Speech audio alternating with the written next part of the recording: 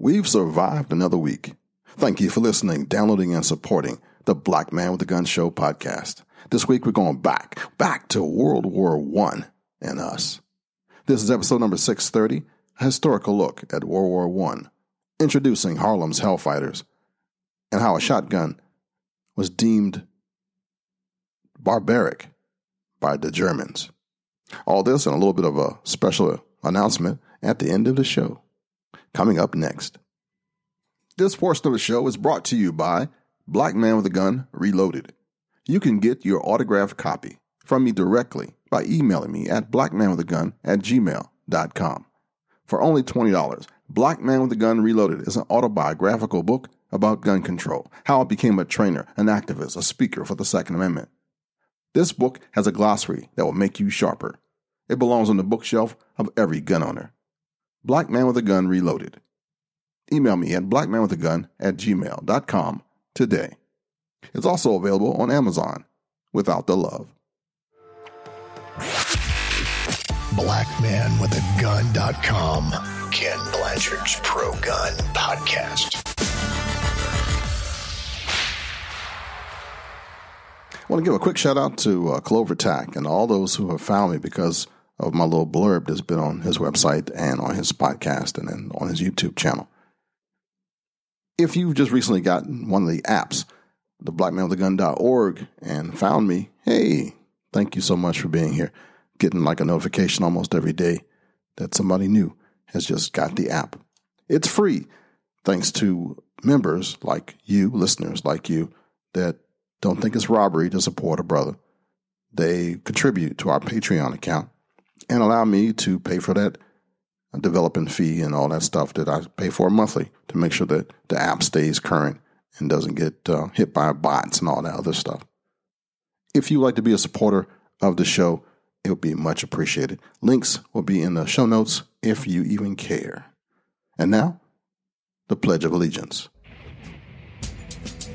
I pledge allegiance to the flag of the United States of America and to the republic for which it stands, one nation, under God, indivisible, with liberty and justice for all.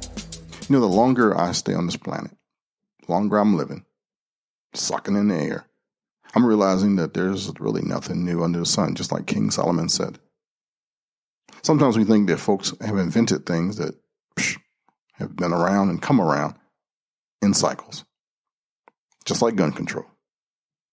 Refusal to stand, for example, during the national anthem became a widespread form of protest during World War I, and in some cases, it was to protest the draft they called conscription back then. Newspapers at the time, which was the media, associated the protest with support for socialism, Bolshevism, and communism. Don't that sound familiar? So let's talk about the flag first, and then World War One. Okay, do you know the um, actual number of stripes we have in the flag? Thirteen. Very good. How about the thirteen colonies? Which states do they represent? I'll give you a chance to figure that out. Give me all 13 by the end and uh, see if you got them all right. One of the reasons folks don't have any pride in themselves is they didn't have to earn anything. When you look at the reasons for doing stuff, it kind of changes your thought pattern. You can't honor something that you don't like, that you don't know about, that you don't trust, that you don't believe in. The colors for the flag were deliberately chosen to represent a theme that the founders felt was important in the building of our nation. The red stands for courage, hardiness, and bloodshed. Courage because our country is based on the courage of separating from what we once knew, courage of starting over, courage of fighting for our freedom. Hardiness because the founders of this country believed our country would outlast the land that we came from. And finally, bloodshed to honor all those who lost their life for our freedom and our country. White stands for purity and vigilance. Purity because our country is independent and is not corrupted by any other country. Vigilance because our country needs to be alert and careful in the choices that we make. Blue stands for justice and perseverance. Justice because it is the basis for our country, and perseverance because although our nation is young in comparison to so many others, we will stand strong against all opposition.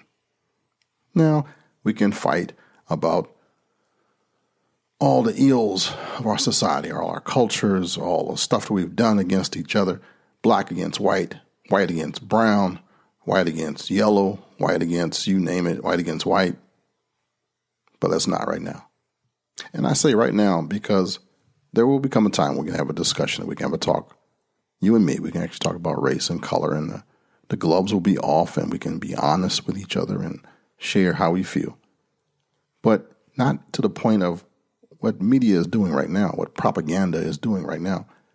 Driving wedges, bringing up pain, fears, hatred.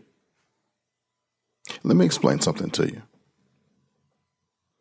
I am not um, Uncle Ruckus from Boondocks. I've come a long way in my understanding of human nature, of American history, of humanity itself, and being stung by the same bee over and over again doesn't help anybody. If you want to go there, if you want to talk about it, blackmanwithagun at gmail.com and I'll explain what I'm talking about. Okay? But let's go on. How about those 13 stripes? They stand for the 13 colonies. Did you remember all the states that they connect to? Virginia, New Jersey, Massachusetts, New Hampshire, Pennsylvania, New York, Maryland, Connecticut, Rhode Island, Delaware, North Carolina, South Carolina, and Georgia were the first 13. And you probably know that the Star Spangled Banner became our official uh, national anthem in 1931, originally written September 14th, 1814. In 1892, the flag inspired James B. Upham and Francis Bellamy to write the Pledge of Allegiance. It was first published in a magazine called The Youth's Companion. You see, Francis Bellamy was tasked with developing a patriotic program for schools around the country in commemoration of the 400th year anniversary of Columbus's journey to the New World. The pledge was intended to ensure that younger people knew to respect that flag and to prevent any more civil conflicts in the future. In its original form, the pledge read, I pledge allegiance to my flag and the republic for which it stands, one nation, indivisible, with liberty and justice for all. President Eisenhower added the phrase, one nation, indivisible, under God, in 1954 as a response to the fear that atheism was being spread by the Soviet Union. Now, for all my humanists and atheists and Satanists and those who agnostics and you name it, let me really mess you up. Remember, I remember I said that everything means something. Check this out. You know how the, the flag is stored and presented to people and folded at funerals in that triangle? Well, each fold means something. Believe it or not, it's not random, but very purposeful. This is one reason why they will fold an American flag at a veteran's funeral. They always fold the flag, so that way only the blue and white stars can be seen. One reason they do this is so that none of the red shows because it stands for the bloodshed. And we want to remember that person's perseverance and vigilance, not the loss of that person. Even the shape is considered when folding the flag. It is in the shape of a triangle so that it symbolizes the hat worn by revolutionary soldiers. Now I'm really going to get you. Each fold of the American flag, and there are 12 of them before the thing is secured. The first fold is the symbol of life. Fold number two, symbol of belief in eternal life. Fold number three, honor and remembrance of veterans. Fold four, symbol of our weaker nature. Fold number five, tribute to the United States of America. Fold number six, symbol of our hearts and devotion. Fold 7, tribute to the armed forces. Fold 8, for those who went into the valley of the shadow of death.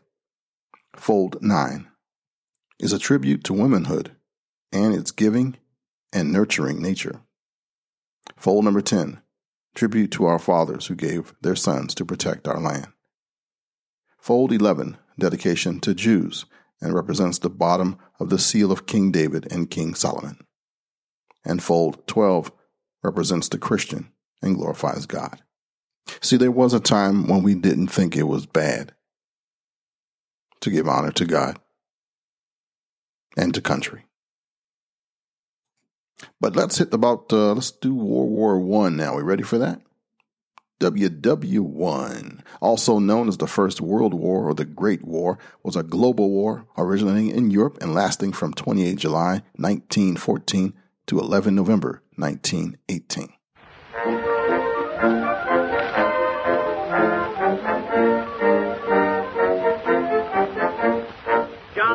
Gun, get your gun, get your gun. Take it on the run, on the run, on the run. Hear them calling you and me, every son of liberty. Hurry right away, no delay, go today. Make your daddy glad to have had such a lad.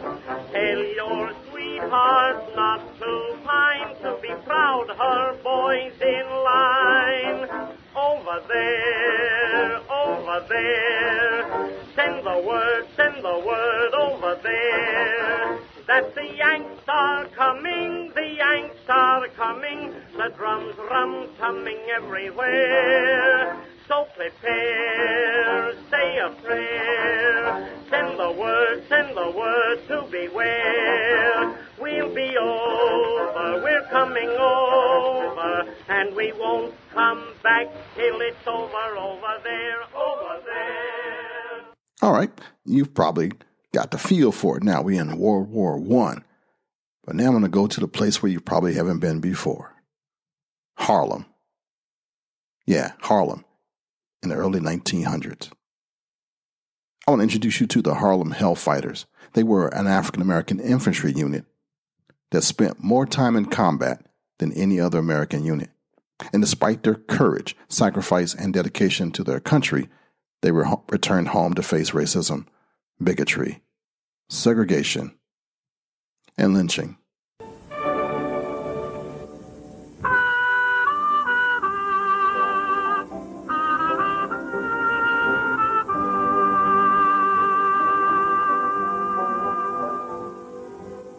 Let's go back to February 18th, 1919. A day after, 3,000 veterans of the 369th Infantry, formerly the 15th New York Colored Regiment, paraded up from Fifth Avenue at 23rd Street to 145th in Lenox. One of the few black combat regiments in World War I, they'd earned the prestigious Croix de Guerre from the French Army under which they'd served for six months of, quote, brave and bitter fighting, end quote. Their nickname they received from their German foes, Hellfighters, the Harlem Hellfighters.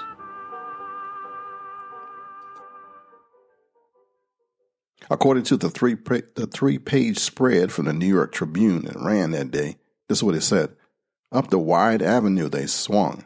Their smiles outshone the golden sunlight. In every line, Proud chests expanded beneath the medals valor had won.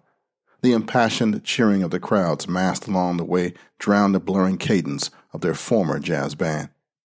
The old 15th was on parade, and New York turned out to tender its dark skinned heroes a New York welcome.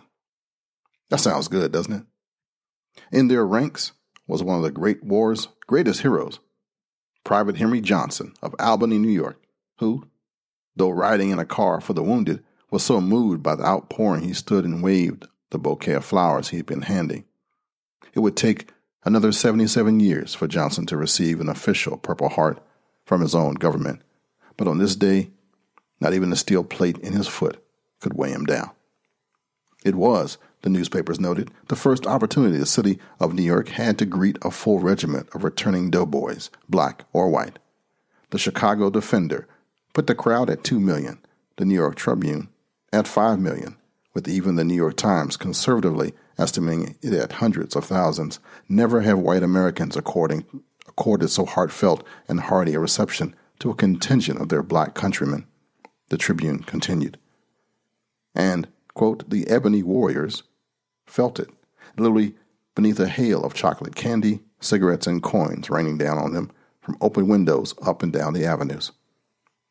It would have been hard to miss them, at least according to the New York Times, to whom all the men appeared seven feet tall.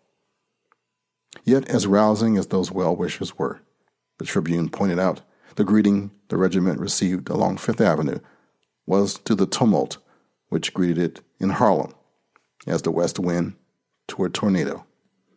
After all, 70% of the 369th called Harlem home, and their families, friends, and neighbors had turned out in full force to thank and welcome those who'd made it back. 800 hadn't, an absence recalled in a number of handkerchiefs drying wet eyes. That morning, it had taken four trains and two ferries to transport the black veterans and their white officers from Camp Upton on Long Islands to Manhattan, and the parade kicking off at 11 a.m. An echo of the armistice that had halted the fighting three months before, stretched seven miles long.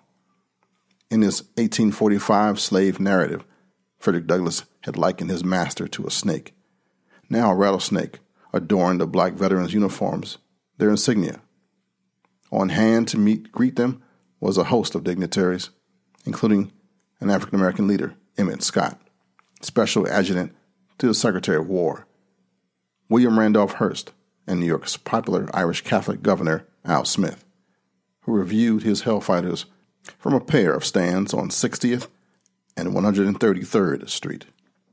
In Harlem, the Chicago Defender observed, February 17, 1919, was an unofficial holiday, with black school children granted dismissal by the Board of Education, a similar greeting on the same day. In fact, met the returning black veterans of the 307th Infantry, the Old English, Illinois, in Chicago. Chad L. Williams writes in his 2010 book, Torch Bearers of Democracy African American Soldiers in the World War I Era. And in the coming months, there'll be other celebrations even in the Jim Crow South, most notably Savannah, Georgia, the state that in 1917 and 1918 led the nation in lynchings, according to statistics published by the Tuskegee Institute. It was, to be sure, a singular season, a pause between the end of hostilities abroad and the resumption of hostilities at home, in a nation still divided so starkly, so violently by the color line. Congress would not make Armistice Day an official U.S. holiday until 1938, and it would not be called Veterans Day until 1954. But the people of New York didn't need Congress to tell them what to do when their black fighting men returned home.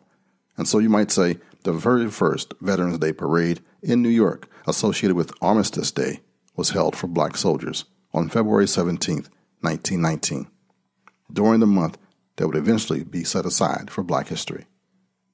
Two years before, on April 2, 1917, President Woodrow Wilson asked Congress for a declaration of war in order to enter a conflict between European powers that had started over the assassination of an archduke in 1914. The world must be made safe for democracy, the president said. The nation's allies, the British, French, and Russians. Its enemies, Germany, Italy, Austria, Hungary, and the so called Central Powers. For some African Americans, Wilson's rhetoric smacked of hypocrisy. After all, he was the president who had screened Birth of a Nation, a film glorifying the Ku Klux Klan, at the White House and refused to support a federal anti lynching bill, even though each year averaged more than one lynching a week, predominantly in former Confederate states that had effectively stripped black men of their voting rights. Will someone tell us just how long Mr. Wilson has been a convert to true democracy? the Baltimore Afro American ed- editorialized on April 28, 1917. Patriotism has no appeal for us, justice has. The Messenger, a socialist publication launched by editors Chandler Owen and A. Philip Randolph. Declared on November 1, 1917, a settlement that would land both men in jail under the Espionage Act in 1918. I don't think you realize that in the past, you could not be as vocal in the media without getting locked up for it. or worse. Many more blacks viewed the war as an opportunity for victory at home and abroad. W.E.B. Du Bois, founder of the NAACP in 1909, urged his fellow African Americans to, quote, close ranks. In a now infamous piece he wrote for the Crisis in July 1918. Despite the persistent segregation of black officers at training camp, he said, Let us, while this war lasts, forget our special grievances and close our ranks shoulder to shoulder with our white fellow citizens and the allied nations that are fighting for democracy. Du Bois advised a stance, Williams notes, that would stir a controversy when Du Bois was exposed for making simultaneous efforts to secure a captaincy for himself. Nobody gets through here without doing some stuff, man. There's always some stuff in the background. In all, 2.3 million blacks registered for the draft during World War I, although the Marines would not accept them and the Navy enlisted a few and only in menial positions, large numbers served in the Army. Some 375 blacks served overall, including 639 men who received commissions, a historical first. And this is all from an essay written, mentioned before, African Americans and World War I. The U.S. Army segregated its black troops into two combat divisions, the 92nd and the 93rd, because war planners deemed racial segregation, just as in civilian life, the most logical and efficient way of managing the presence of African Americans in the Army. This is a quote from a researcher. But a different kind of violence soon spread at home, most notably in East St. Louis, where on July 2, 1917, the rumor that a black man had killed a white man resulted in the murder of nine whites and hundreds of blacks, not to mention half a million dollars of property damage. Things weren't much better in the South. On August 23, 1917, black soldiers in the 24th Infantry garrisoned in Houston revolted when one of their comrades was beaten and arrested by two white police officers after he tried to stop them from arresting a black woman. Quickly, rumors flew that a white mob was approaching the camp, which, whether true or not, prompted the black troops to scour the camp for ammunition under the notion that the best defense is a good offense. Marching through the rain to Houston, they killed 15 people, including four policemen and a member of the Illinois National Guard. Two of the black soldiers died in the fighting, one shooting himself in the head rather than risking capture. Ten men probably could not begin to tell the complete story of what took place that night. A guy by the name of Lentz Smith quotes Army prosecutor um, Colonel Hull, yet in the fallout, they charged 63 members of the battalion with mutiny and hanged 13 in their army khakis. Over there, over there, send the word, send the word over there. That the Yanks are coming, the Yanks are coming, the drums rum coming everywhere. So prepare. Of the 375,000 blacks who served in World War I, 200,000 shipped out overseas, but even in the theater of war, few saw combat. Most suffered through backbreaking labor in non combat service units as part of the services of supply. Lentz Smith puts the number of combat troops at 40,000, 42,000, only 11% of all blacks in the Army. For the first of the two black combat divisions, the 92nd, the Great War, was a nightmare. Not only were they segregated, their leaders scapegoated them for the American Expeditionary Force's failure at Meuse Argonne in 1918. Even though troops were from both races struggled during the campaign, in the aftermath, five black officers were court martialed on trumped up charges, with white Major J.N. Merrill of the 368th 1st Battalion writing his superior officer that without my presence or that of any other white officer, right on the fire line, I am absolutely positive that not a single colored officer would have advanced with his men. The cowardice showed by the men was abject. Now, even though Secretary of War Newton Baker eventually commuted the officers' sentences, the damage was done. The 92nd was off the line. In contrast, General John J. Pershing, the commander of expeditionary forces in Europe, assigned the 93rd Combat Division to the French Army. The 93rd consisted of the 369th, the 37th, the 371st, the 372nd Infantry Regiment. Get my numbers mixed up now. And with the French, the Harlem Hellfighters fought at Chateau Thierry and Belleau Wood, a resource for teachers, states on the National Archives website. Quote, all told, they spent 191 days in combat, longer than any other American unit in the war. They gave no ground to the enemy, and none of their men were captured, although, as we shall see, at least one came close. All right, so what does that have to do with gun rights, gun ownership today? Well, legacy and history are very important to us. My uncle in law, uncle from my wife's side, served in World War One, and he was quite proud of what he did in France. I mean, I thought he was going to turn a different shade of brown. He was so puffed up and happy. He did something over there. Yeah, he even had a little little French uh, dialogue he would go into when he started talking and telling the story. But these veterans came home full of pride for their country and got abused, still trained in firearms. It caused some trouble back home. This went through generations and led to where we are now.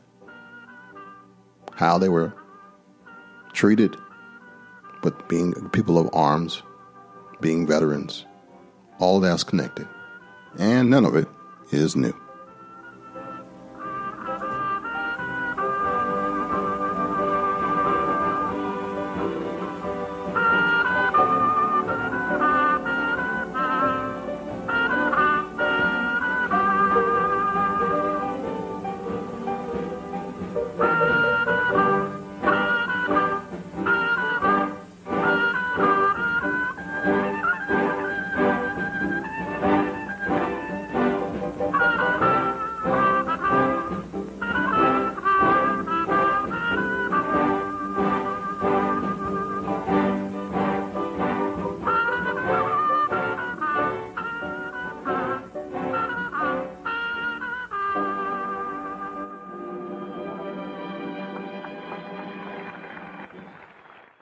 Being an armed citizen means having a gun with you all the time.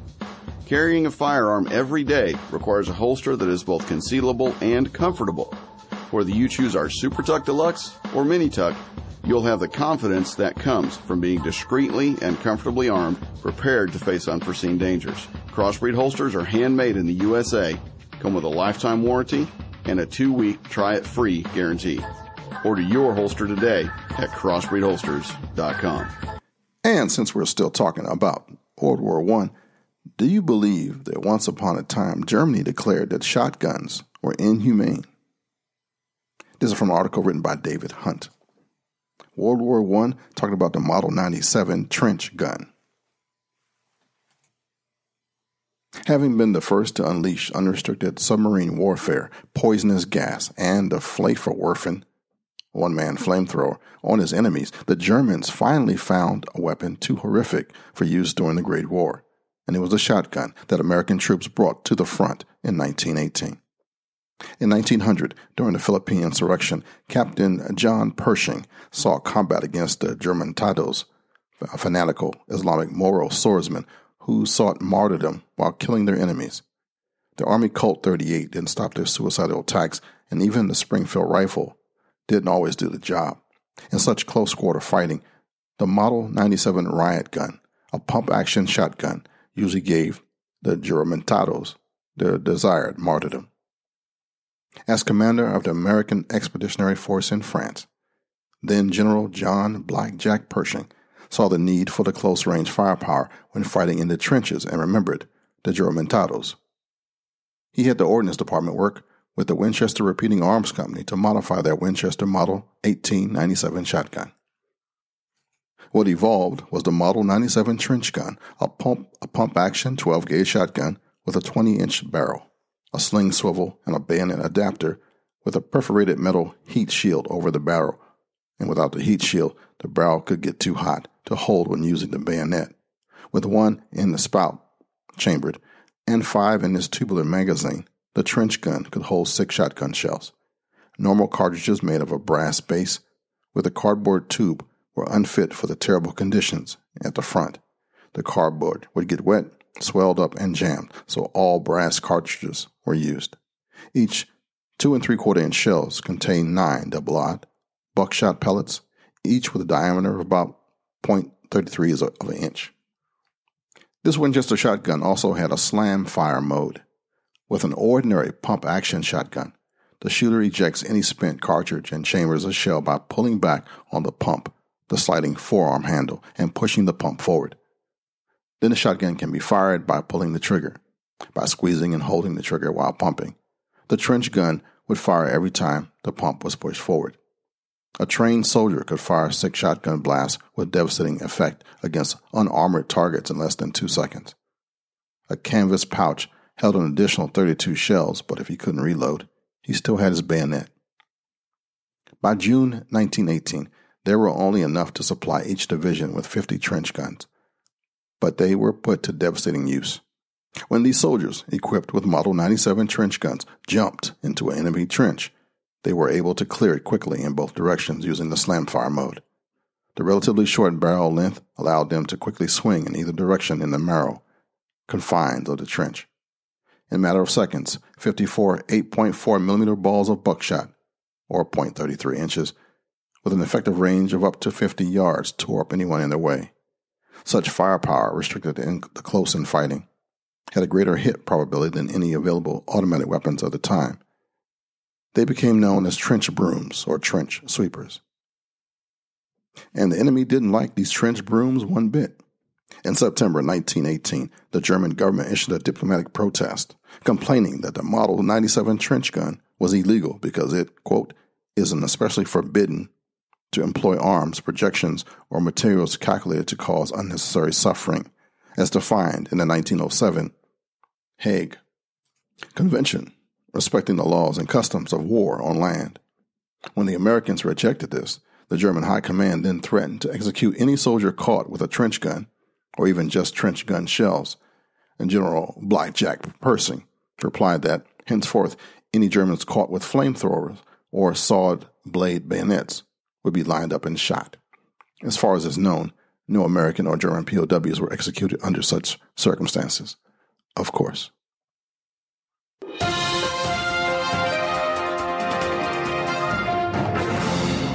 In the news this week, I was notified that the inaugural convention for the National African American Gun Association has been officially selected and will take place August 14th, 15th, and 16th in 2020. The location will be at the beautiful Epicenter located in the Atlanta metro area, and this will be the first time in history of the United States that an African American firearms organization has had an inaugural event of any kind. So, in short, the National African American Gun Association will have its first convention in 2020. And now, another announcement that um, if you listen to the whole episode, you got a chance to hear this part from me. Because I guarantee there'll be 3,000 other people who didn't hear this part and they'll be like, hey, what happened to the shows? it has been suggested to me to take a break. And this podcast will be on hiatus. Will give me an opportunity to uh, catch my breath, reassess, and tweak some stuff. Yeah, I'm going on break after this episode. I know some of you just discovered me, but there are like 600 plus episodes in the back catalog for you to check out while I'm on my rest. I'll be back in about 10 weeks. I want to record an audio book uh, the audio version of my book. Yeah, that's more like it. Do some YouTube stuff, shoot a whole lot, rest, think, create, rinse and repeat. So, gonna take a break for 10 weeks of the Black Man with the Gun show. And I ask that you just keep on rolling. If you're new to the show, go back and listen to the other 629 other episodes that you haven't heard yet going to try to stay in touch with those who have the app at blackmanwithagun.org and um, probably appear and be heard on radio and other people's podcasts while I'm resting, no doubt. And there'll be a whole bunch of folks who pop up in those 10 weeks, I'm sure. There are lots of pro gun folks trying to make a difference right now. And that's a good thing. Yep, I think that's it for the news. NAGA's having this convention, and I'll be taking a break. I'm really hoping that you like this episode, that um, you learned some stuff that you probably have never heard before, that you, you got questions for it, you can always check it out. Write the stuff down, do some searching on your own, check the facts, see whether I'm making this stuff up or not. And um, if you find something different, feel free to give me a buzz. We can talk about it. We can, you can correct me.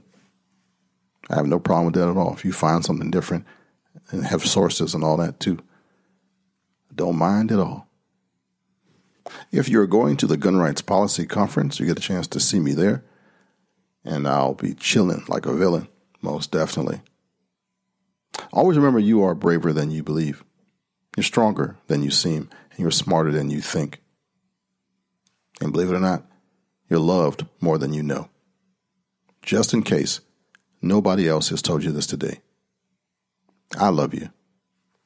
There's not a damn thing you can do about it. Until the next time. Shalom, baby. Sheriff, you can't go now. We need you. The work here is done. I'm needed elsewhere now. I'm needed wherever outlaws rule the West, wherever innocent women and children are afraid to walk the streets, wherever a man cannot live in simple dignity, and wherever a people cry out for justice. Oh! All right, you caught me. Where are you headed, cowboy? Nowhere special. Nowhere special. I always wanted to go there.